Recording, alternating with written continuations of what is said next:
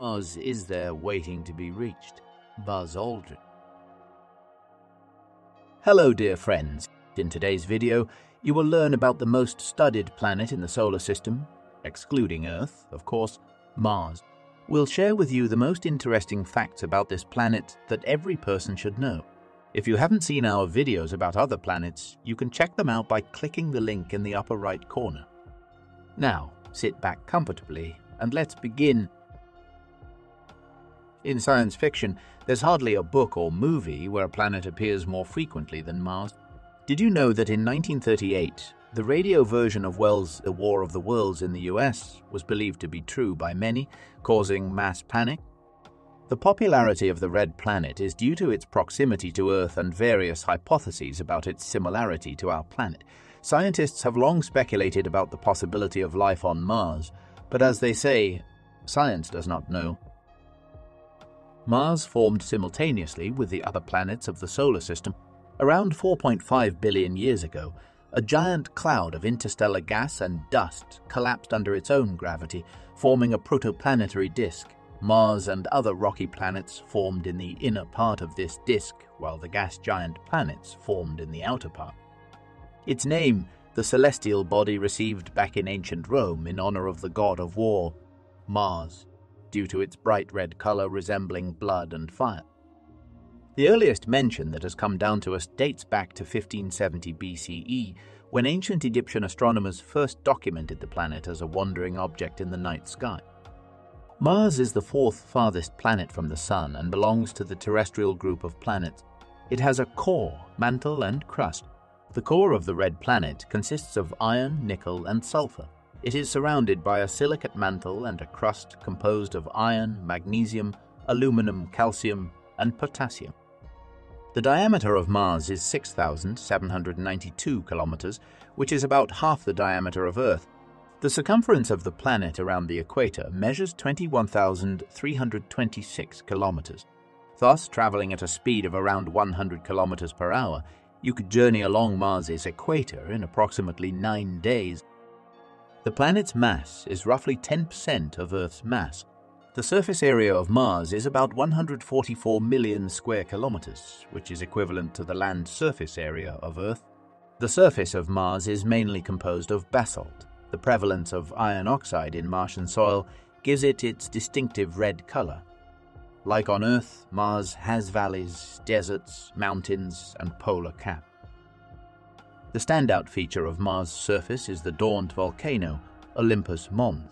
This is the tallest mountain in the solar system, standing 26 kilometers high from its base. It's named after Mount Olympus in Greece, which, according to myths, was the home of the Olympian gods. Mars rotates on its axis at roughly the same speed as Earth.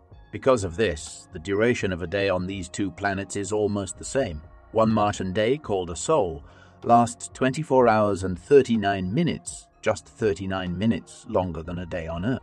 However, a year on the planet lasts 687 Earth days. As you probably know, the changing of seasons on the planet occurs due to the tilt of its axis.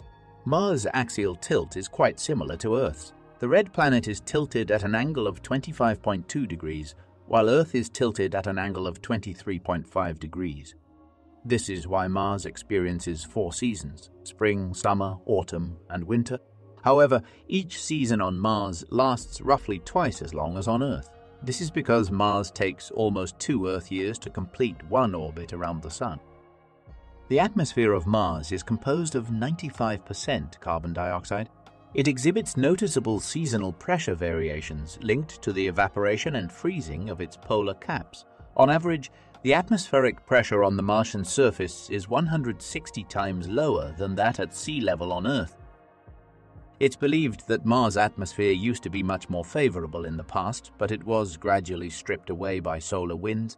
The climate on Mars is thought to have changed several times, possibly harboring the potential for life.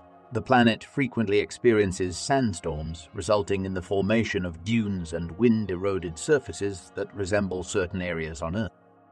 A recent discovery confirmed the existence of vast reserves of water ice beneath the surface of the southern polar cap.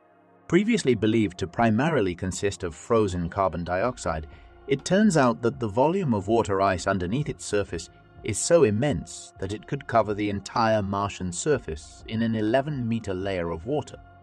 Many scientists speculate that this was the case in the past.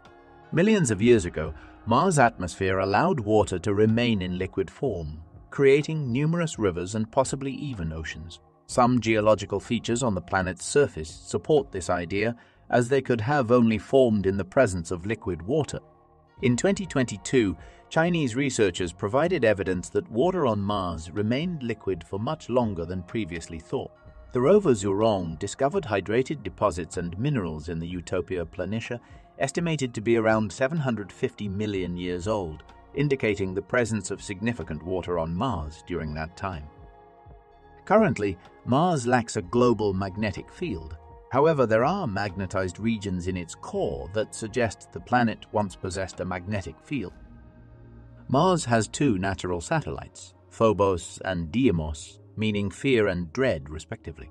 These names are derived from characters in Greek mythology, sons of Ares, the Greek god of war. These satellites are close to the planet, much like the Moon is to Earth. According to studies, Phobos is gradually approaching Mars by 2 meters every 100 years, and if it breaks apart upon impact in millions of years, a ring of debris could form around the planet. Meanwhile, Deimos is slowly moving away from the planet, potentially leading to Mars losing both of its moons in a few tens of millions of years.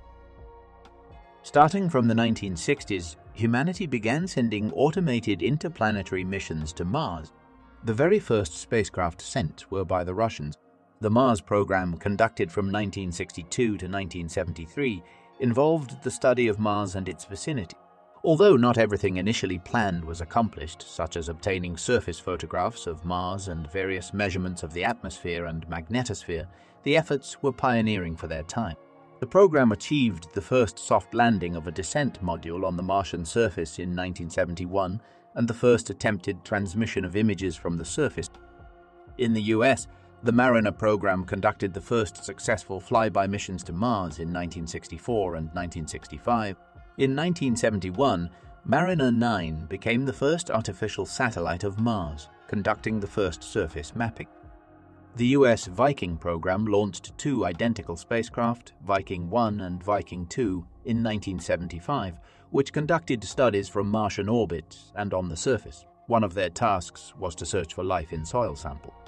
The automated Martian stations Viking were the first spacecraft to successfully operate on the surface of Mars, transmitting a large amount of scientific information, including images from the landing site. However, they didn't find signs of life.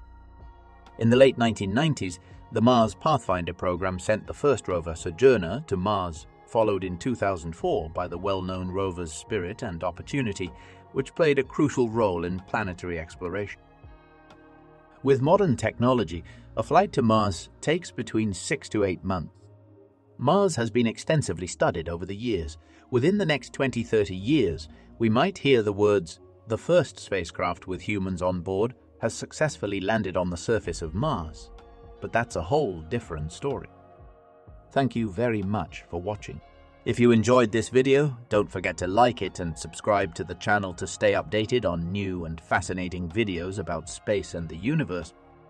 Feel free to leave comments about what you like to see in the next video.